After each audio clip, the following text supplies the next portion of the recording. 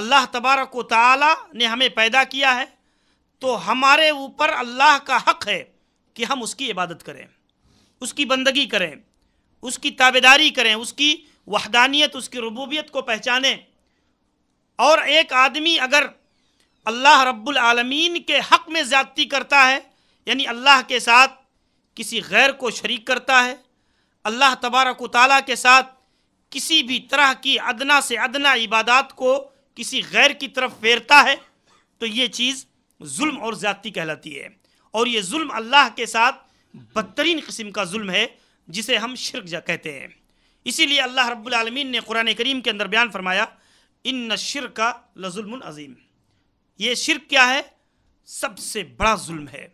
اللہ تبارک و تعالیٰ کے ساتھ ظلم جو ہے، شرک، کفر، نفاق، اسے علماء نے ظلم کی شکلوں میں سے بیان کیا ہے۔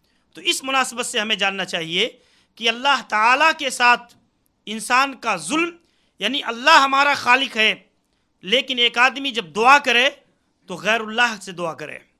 اللہ رب العالمین ہمارا پیدا کرنے والا ہے، روزی دینے والا ہے، ہمیں شفا دینے والا ہے۔ لیکن ایک آدمی جب استمداد کرے مدد طلب کرے تو اللہ تبارک و تعالیٰ کے ساتھ غیر کو شریک کر لے، غیر سے استمداد کرے۔ نظر و نیاز غیر اللہ کے لیے مانے۔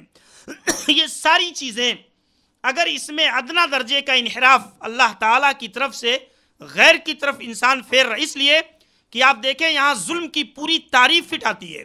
یہ حق اللہ کا ہے اور ایک مومن بندے پر لازم ہے، عدل یہ ہے، انصاف یہ ہے کہ اللہ کا حق اسے دے۔ لیکن آدمی اگر اللہ تعالیٰ کے اس حق میں ادنا سا تصرف کرتا ہے، اس حیثیت سے کہ اسے غیر غیر کو اس میں شریک کر دے رہا ہے، تو گویا اللہ تعالیٰ کے حق کو کسی غیر کو دے رہا ہے۔ اور یہی چیز ظلم کہلاتی ہے۔ اسی لیے آپ دیکھیں، یہ آیت کریمہ جب نازل ہوئی، جو ہے، اللہ تبارک و تعالیٰ نے قرآن کریم کے اندر دوسری جگہ بیان فرمایا الدین آمنو ولم یلبسو ایمان بظلم۔ جو لوگ ایمان لائے اور انہوں نے اپنے ایمان کو ظلم کے ساتھ خلطملت نہیں کیا زیادتی کے ساتھ خلطملت نہیں کیا۔ لہم الامن وہم محتدون تو وہ امن و امان پانے والے ہیں اور وہی ہدایت یافتہ۔ تو یہ آیت کریمہ جب نازل ہوئی، تو صحابہ اکرام رضوان اللہ علیہ اجمعین کو کے اوپر بڑی گراں گزری آیت۔ اللہ کے نبی صلی اللہ علیہ وسلم کے پاس صحابہ کرام آئے، دریافت دریافت کیا اللہ کے نبی ایون عالم یظلم۔ اللہ کے نبی، ہم میں سے کون آدمی ہے جو اپنے آپ پر ظلم نہیں کرتا یا کہیں کسی طرح سے اس سے اپنے بیوی بچوں کے بارے میں، لین دین کے بارے میں، معاملات کے بارے میں کہیں ایسی بے اعتدالی ہو جائے، اس طرح سے انسان کس حد تک اپنے آپ کو محفوظ رکھ پائے گا؟ تو یہ چیز تو ہو سکتی ہے انسان سے۔ تو اللہ کے نبی صلی اللہ علیہ وسلم نے اس موقع پر بیان فرمایا کہ جو چیز تم سمجھتے ہو وہ نہیں ہے۔